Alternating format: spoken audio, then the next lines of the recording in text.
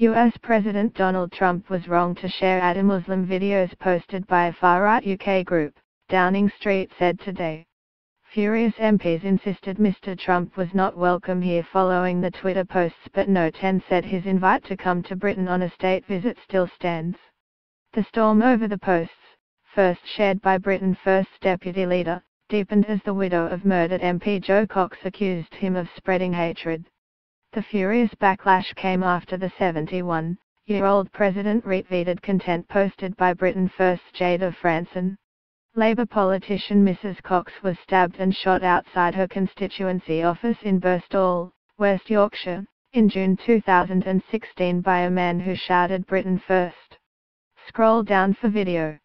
President Donald Trump has retweeted three videos posted by a far-right British leader, known for her rabid Islamophobia. The first video President Trump posted depicted Muslim migrant according to Jayda Fransen, beating up a Dutch boy on crutches. The first video retweeted by Mr. Trump was claimed to show a Muslim migrant beating up a Dutch boy on crutches. But Dutch media this afternoon said the video was fake news. The video features a born and raised Dutch man and no reports have detailed the suspect's religion. Mr. Trump also retweeted a video of a Muslim man destroy, ing, a statue of Virgin Mary, and another where Miss Fransen wrote, Islamist mob push teenage boy off roof and beats him to death. The provenance of the footage is unknown. The video, entitled Muslim Migrant Beats Up Dutch Boy on Crutches, has already been claimed to be fake news. The clip was allegedly first posted on the Dutch website Dumpert in May before being removed following a request by police. The incident was said to have taken place in Edam, around 10 miles north of Amsterdam. But Dutch media the 16-year-old perpetrator, who was arrested, is said to be an ordinary Dutchman, and not a migrant nor a Muslim.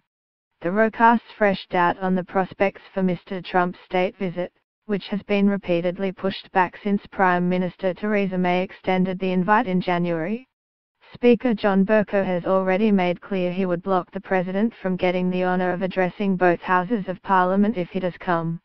The Prime Minister's official spokesman said Britain first sought to divide communities through its use of hateful narratives which peddle lies and stoke tensions. It is wrong for the President to have done this, the spokesman said. Despite the slapdown, Mrs May's spokesman made clear that the controversial invitation for the President to make a state visit to the UK, made when Theresa May met Mr Trump in Washington in January, still stood. The invitation for a state visit has been extended and accepted. Further details will be announced in due course, the spokesman said. The spokesman said that Britain first caused anxiety to law-abiding people, adding that, British people overwhelmingly reject the prejudiced rhetoric of the far right which is the antithesis of the values that this country represents, decency tolerance and respect.